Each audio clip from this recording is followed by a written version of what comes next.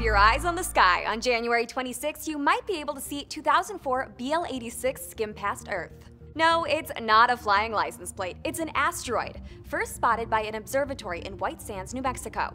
Astronomers estimate it's about a third of a mile wide and humming along at more than 35,000 miles per hour, or fast enough to complete its long orbit around the Sun every 1.84 Earth years. And it's about to set a record.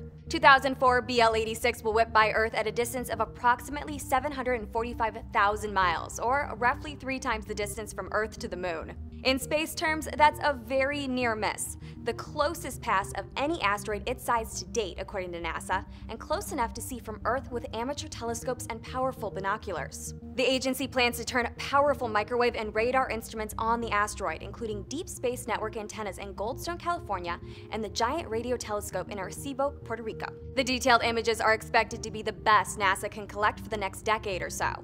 2004 BL 86 will hold the record for closest miss until 2027, when asteroid 1999 AN 10 will pass as close as 19,000 miles from Earth's surface.